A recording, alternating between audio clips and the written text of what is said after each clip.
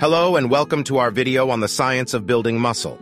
In this video, we'll be exploring the mechanisms behind muscle growth and how to trigger it.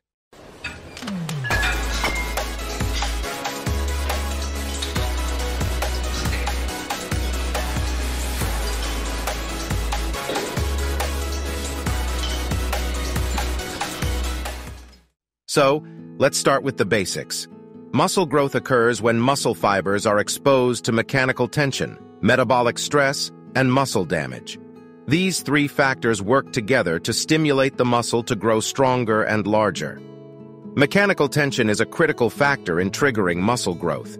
It is generated when a muscle contracts against a resistance or load, such as lifting a weight or pushing against a resistance band. The force generated by the muscles during this contraction creates tension in the muscle fibers, which in turn stimulates them to grow.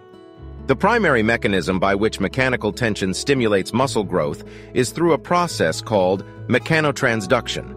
This is the process by which mechanical forces are converted into biochemical signals that trigger muscle growth.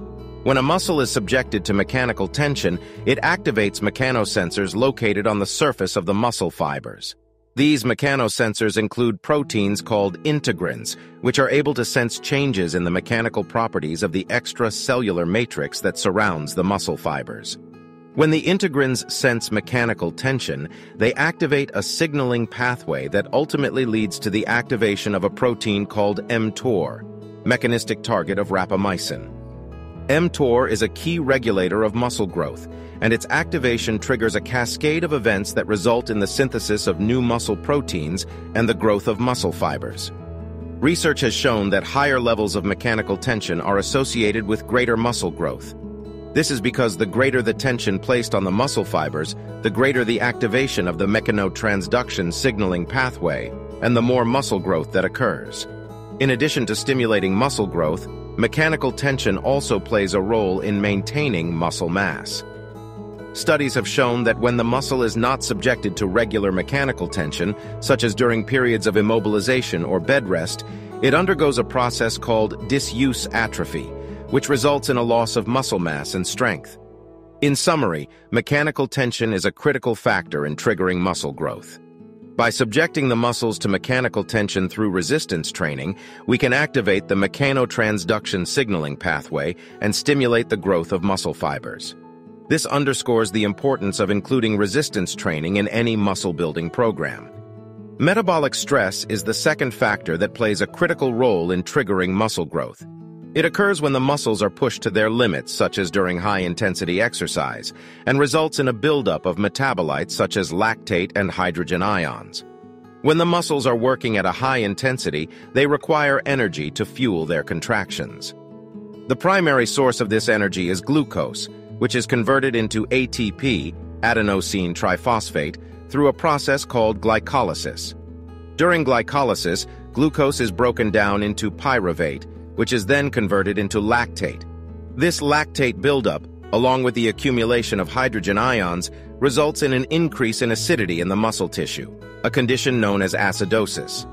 This acidosis triggers a cascade of events that ultimately leads to muscle growth. One of the key mechanisms by which metabolic stress triggers muscle growth is through the activation of a protein called hypoxia-inducible factor 1 alpha, HIF, 1A. HIF, 1A is a transcription factor that regulates the expression of genes involved in a range of processes, including cell growth and metabolism. When the muscles are subjected to metabolic stress, HIF, 1A is activated, which triggers the expression of genes involved in muscle growth. In addition to HIF-1A, metabolic stress also triggers the release of growth factors such as insulin-like growth factor 1, IGF-1, and mechano growth factor, MGF, which stimulate muscle growth. Research has shown that metabolic stress is an important factor in promoting muscle growth. A study published in the Journal of Applied Physiology found that training that induced metabolic stress, such as high-intensity resistance training, was more effective at promoting muscle growth than low-intensity training. In summary, metabolic stress is an important factor in triggering muscle growth. When the muscles are pushed to their limits and subjected to high-intensity exercise, It results in a buildup of lactate and hydrogen ions, which triggers a cascade of events that ultimately leads to muscle growth. This underscores the importance of including high-intensity training in any muscle-building program. Muscle damage is the third factor that plays an important role in triggering muscle growth. It occurs when the muscle fibers are torn or damaged during intense exercise, such as weightlifting or sprinting. When the muscle fibers are subjected to intense exercise, it results in microscopic tears and damage to the muscle fibers. This damage triggers a response from the body's repair mechanisms, which include the activation of satellite cells. Satellite cells are muscle stem cells that are activated in response to muscle damage. They fuse with the damaged muscle fibers and facilitate the repair and regeneration of the muscle tissue. Through this repair process, the muscle fibers become stronger and larger, resulting in increased muscle mass. In addition to activating satellite cells, Muscle damage also triggers the release of growth factors such as insulin-like growth factor 1, IGF-1, and fibroblast growth factor, FGF, which play important roles in muscle growth and repair.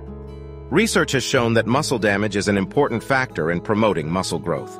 A study published in the Journal of Strength and Conditioning Research found that high-intensity resistance training, which results in significant muscle damage, was more effective at promoting muscle growth than low-intensity training. It's important to note that while muscle damage is necessary for muscle growth to occur, excessive muscle damage can lead to negative outcomes such as muscle soreness, reduced muscle function, and impaired recovery. Therefore, it's important to balance the amount of muscle damage induced during training to ensure optimal muscle growth and recovery. In summary, muscle damage is an important factor in triggering muscle growth. When the muscle fibers are subjected to intense exercise and experience microscopic tears and damage, it triggers the body's repair mechanisms, resulting in stronger and larger muscles. This underscores the importance of including high-intensity exercise and proper recovery in any muscle-building program. To trigger muscle growth, the most effective approach is through progressive overload. This involves gradually increasing the amount of weight or resistance used during your workouts over time.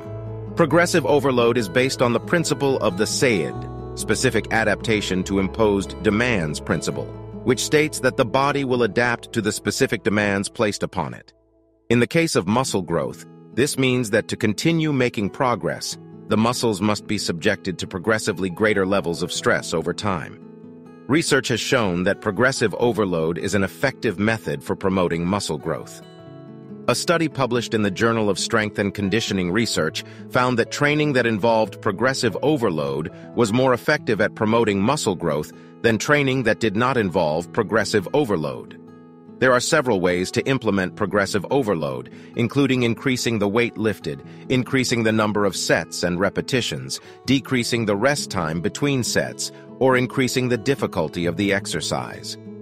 It's important to note that the rate of progression should be gradual and appropriate to your level of fitness and experience. Too much weight or resistance too soon can lead to injury and hinder progress. A general rule of thumb is to aim for a 2-10% increase in weight or resistance every one, two weeks.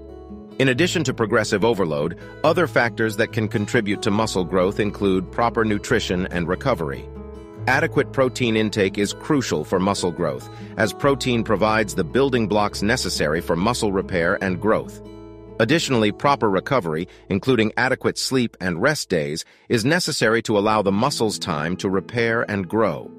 In summary, the most effective way to trigger muscle growth is through progressive overload.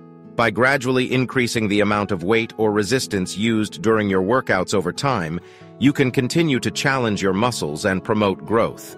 However, it's important to progress gradually and to prioritize proper nutrition and recovery for optimal results. When you lift weights that are challenging for your muscles, you create the necessary mechanical tension to stimulate muscle growth. Over time, you'll need to increase the weight or resistance to continue making progress. In addition to progressive overload, there are a few other things you can do to enhance muscle growth. First, make sure you're getting enough protein in your diet. Protein is essential for muscle growth and repair. Second, prioritize compound exercises that work multiple muscle groups at once. These exercises, such as squats, deadlifts, and bench presses are the most effective at stimulating muscle growth. Finally, make sure you're getting enough rest and recovery. Your muscles need time to repair and grow after each workout, so make sure you're getting enough sleep and allowing for adequate rest days. So, there you have it, the science of building muscle. By understanding the mechanisms behind muscle growth and how to trigger it, you can design an effective workout program to achieve your fitness goals. In conclusion, building muscle is a complex process that involves a combination of mechanical tension, metabolic stress, and muscle damage. By understanding these factors and implementing strategies such as progressive overload, proper nutrition, and recovery, you can maximize your muscle growth potential and achieve your fitness goals. Remember, consistency and patience are key when it comes to building muscle. Results don't happen overnight, but with dedication and hard work, you can achieve the physique you desire. So, keep pushing yourself and never give up on your fitness journey. Thank you for watching, and we hope you found this video informative and helpful. Don't forget to subscribe to our channel for more science-based content on health and fitness.